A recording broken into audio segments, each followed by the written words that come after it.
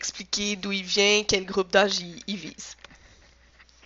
C'est un programme qui est offert, c'est nouveau dans notre école. En fait, là, c'est, on, a commencé là, dès janvier de cette année d'offrir ce programme-là. Puis ça s'adresse aux jeunes de 13 à 18 ans.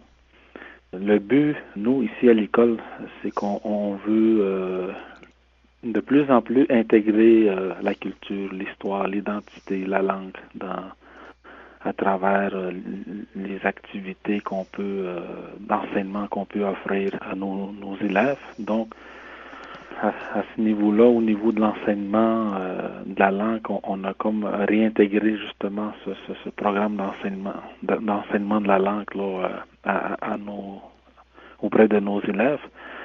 Et il y avait eu euh, une pause qui avait été faite à ce niveau-là pour euh, justement reviser, euh, enrichir le programme d'enseignement de langue au sein de notre école.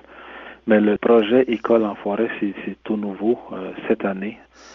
C'est un nouveau projet qu'on est très fiers de pouvoir offrir à nos jeunes parce que c'est important pour nous, pour en tant qu'école, puis même aussi, je dirais, pour la communauté, pour le conseil, de travailler dans ce sens-là euh, le plus possible, de d'essayer de, rendre notre école à l'image de notre identité. Et, euh, et ce programme-là qu'on offre à nos jeunes de l'école va, va permettre euh, de, de, vivre des des, activités sur le territoire. Puis avec ça, nous avons euh, eu à, à travailler avec un partenaire de, la communauté qui est un aîné qui est quand même assez actif. Il, s'est entouré de jeunes avec lui pour euh, pouvoir offrir euh, des activités traditionnelles, les savoirs traditionnels. Il y a toute la transmission culturelle des savoirs qui sont prévus dans, à l'intérieur des activités. Euh, bien entendu, la langue en fait partie. Nous, euh, la nation Atikamek, euh, on a la chance d'avoir une langue très vivante. C'est 97% de, la nation Atikamek, des, membres, ont comme langue maternelle la langue Atikamek. Donc, la langue est, elle est très vivante encore dans nos communautés. Et euh, mais on est conscient que euh, il faut travailler euh, quand même fort pour la préserver parce qu'avec tout la technologie d'aujourd'hui, la langue française, anglaise nous entoure de très près, fait qu'il faut travailler fort pour enseigner la langue puis la, préserver surtout là, pour les générations présente et future. Fait que, mm-hmm. Donc, euh, donc c'est important euh, euh, pour nous, de, on travaille fort pour pouvoir offrir ce genre de programme, de projet d'activité culturelle à l'intérieur de nos écoles, mais aussi au niveau en territoire, parce que justement les, les, les activités traditionnelles, nos ancêtres le vivaient sur le territoire. Donc, c'est pour ça qu'on trouve important de, pouvoir amener nos jeunes en territoire. Puis vous amenez euh, les jeunes qui fréquentent actuellement l'école secondaire sur le territoire pendant combien de temps? Comme première année, nous voulions faire participer tous les, jeunes. Donc, on a fait un calendrier dans lequel, euh, en fait, le projet en tant que tel à deux volets. Le premier volet, volet 1, c'est pour des jeunes qui sont euh, un peu euh, démotivés au niveau euh, de la motivation scolaire et qui sont même en train de décrocher. Donc, on a quand même ciblé un nombre de jeunes pour le volet 1. On a fait un calendrier pour eux. Il y a comme trois groupes à ce niveau-là qui d'une dizaine de jeunes par groupe.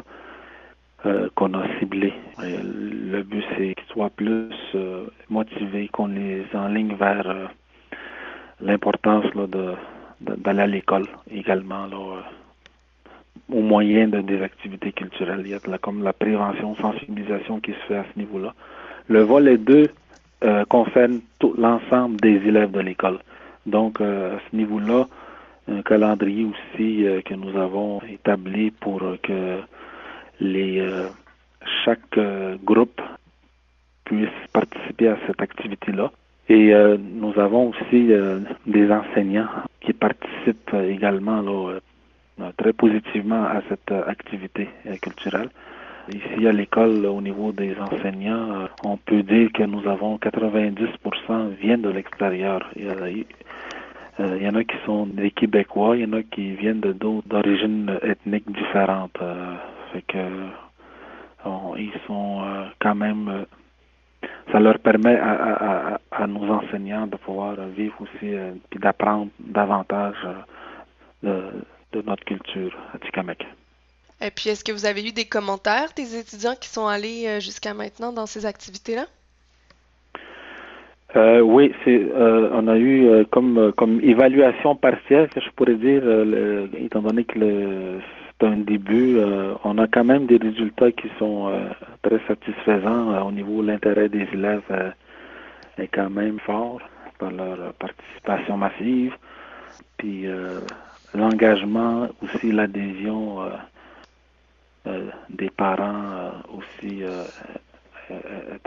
est fort, puis le support du conseil, comme je disais tantôt, c'est important pour nous de, d'avoir des, la collaboration de toute la communauté, la participation positive des enseignants, du personnel enseignant aussi, qui sont allés vivre cette, cette expérience-là. Et puis on a quand même euh, des bons commentaires qu'on a reçus euh, de la part euh, des jeunes et des quelques membres du personnel qui sont qui ont participé depuis janvier de cette année. Mhm.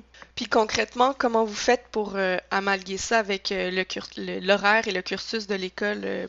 Comme c'est une première, nous avons justement, on essaie de, de, faire des liens avec les, les apprentissages qui peuvent faire euh, avec les autres programmes.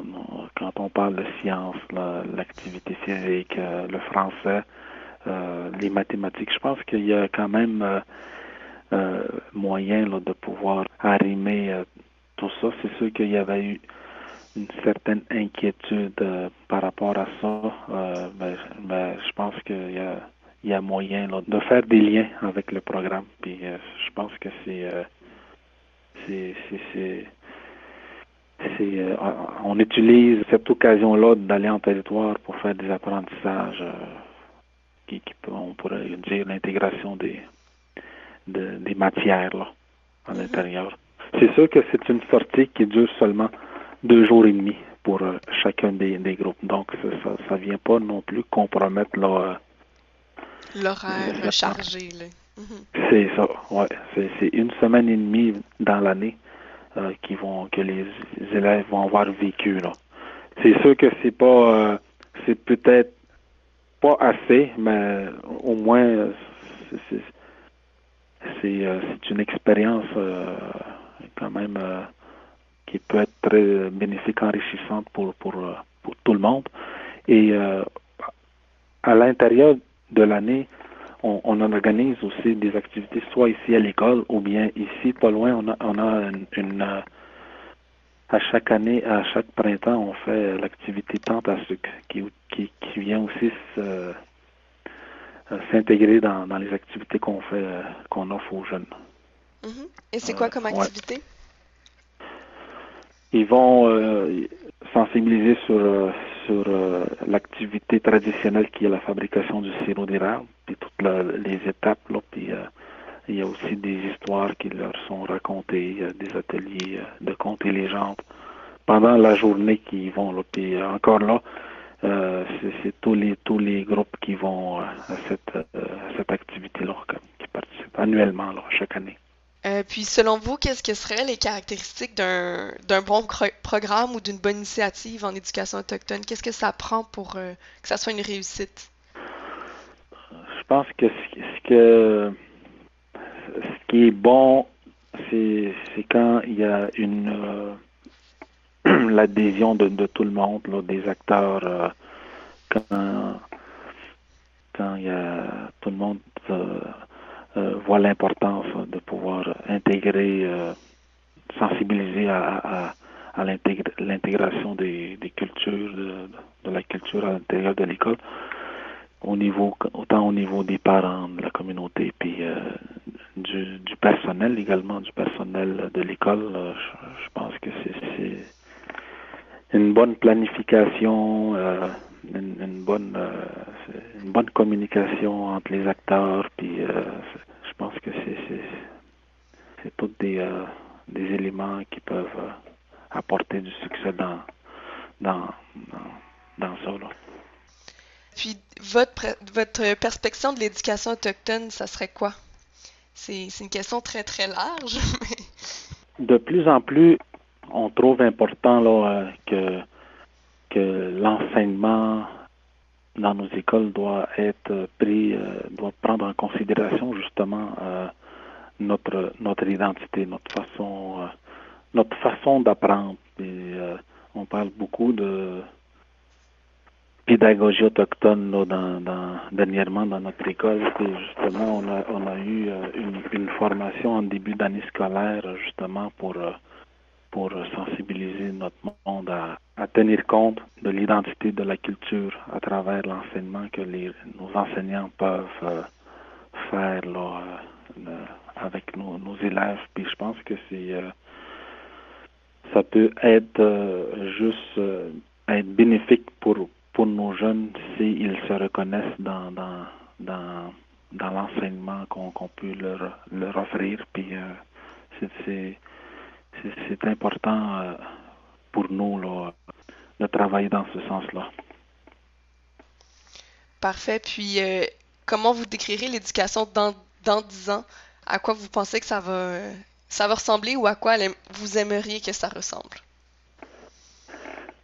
Que justement, euh, on puisse, notre école, du moins, qu'on puisse offrir des, des, des projets des programmes de, formation qui pourraient faire en sorte d'avoir plus de, réussite au niveau de nos jeunes. Parce que une école, euh, mettons, une polyvalente euh, québécoise peut offrir une, des formations au niveau professionnel, ce qui n'est pas nécessairement le cas ici, alors qu'on sait qu'il y a beaucoup euh, quand même de jeunes qui peuvent se, diriger vers des formations euh, professionnelles parce que c'est pas tout le monde qui veut qui veut euh, faire des études là euh, postsecondaires. Puis je pense que j'aimerais qu'on développe des, des programmes là, à ce niveau-là pour notre école dans les prochaines années. Puis à, à, ce sujet-là, justement, on a on a eu une rencontre avec des gens de l'extérieur qui veulent qui nous ont demandé si on était intéressé à offrir ce genre de programme-là pour euh, à court et moyen terme, puis euh, mm-hmm. en espérant que ce projet-là puisse euh, voir le jour dans les meilleurs délais. Puis aussi, on, on, veut, comme je disais tantôt, on, on veut de plus en plus que notre école soit le reflet de notre identité, notre notre culture, puis travaille tous ici, du moins à, notre, notre école, dans ce sens-là, puis euh, en espérant que qu'on avance dans, dans ce, dans ce sens-là pour les prochaines années. Là. Puis, qu'est-ce que vous avez besoin pour concrétiser euh, autant l'adaptation avec plus de contenu autochtone dans vos cours que de la formation professionnelle? Qu'est-ce que vous avez besoin comme, euh, comme outil? Ce qu'on a besoin, c'est peut-être des, des plus de ressources matérielles, des données, des, documents, la documentation, peut-être aussi de la formation, je pourrais dire, là, auprès de nos, euh, de nos enseignants.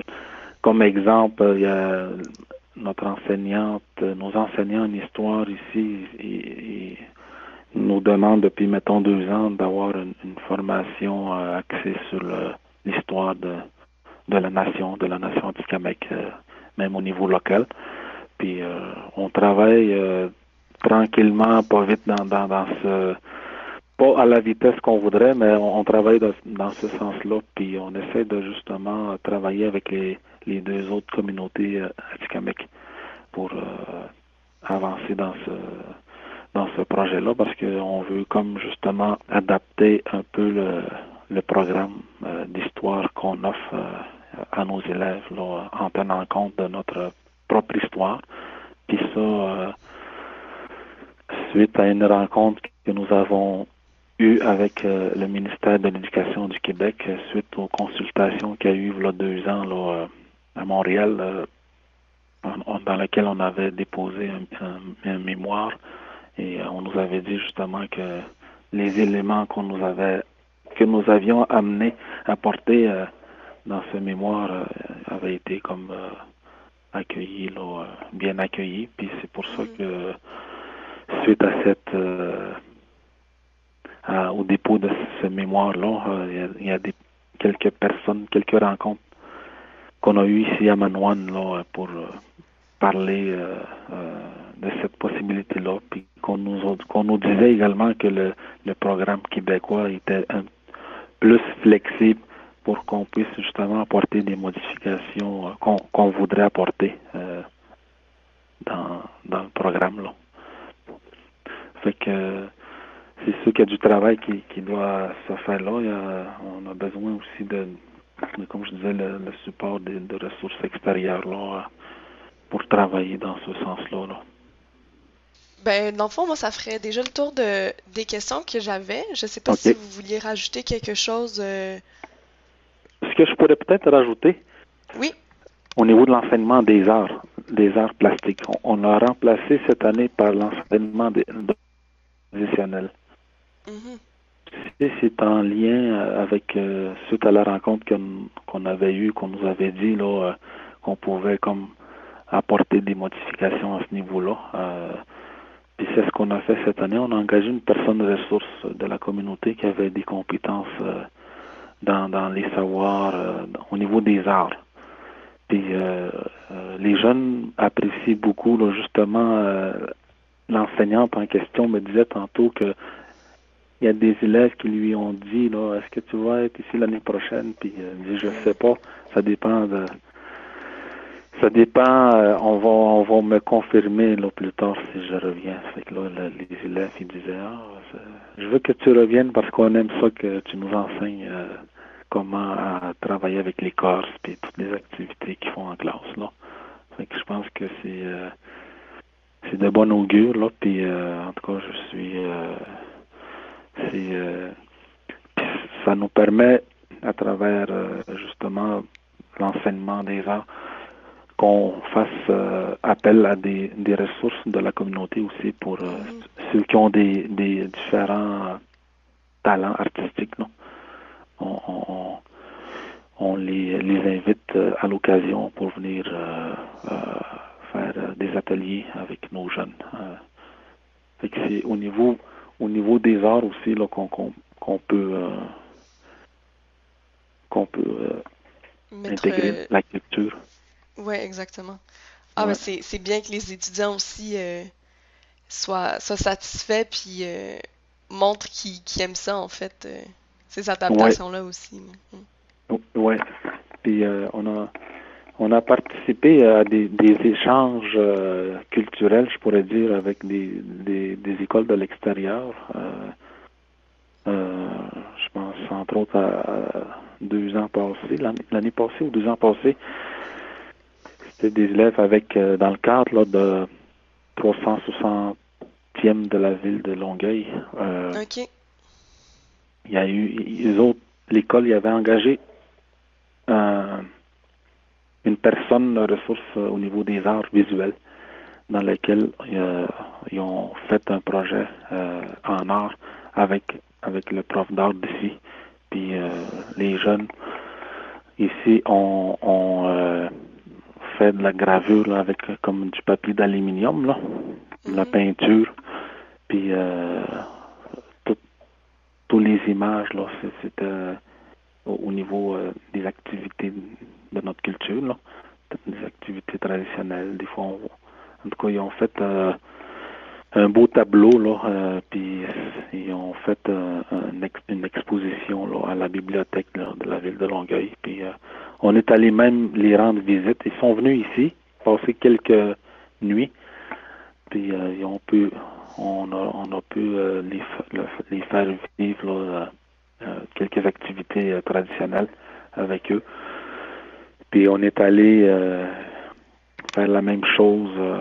Il y, a eu comme un événement à la bibliothèque dans lequel des personnes des invités dignitaires étaient invités, même le maire. Puis euh, j'ai euh, moi en, étant aussi euh, artiste là, moi je fais de la musique, je chante, je fais de la mhm. composition. Et on, on, a fait un, petit spectacle là-bas pour un peu leur montrer la musique Atikamek, là, la chanson. Mhm. Ouais. puis on, on, avait on avait aussi invité des, des drummers, là, des, des artistes de la communauté euh, qui font du, tambour traditionnel, des chants. Ouais.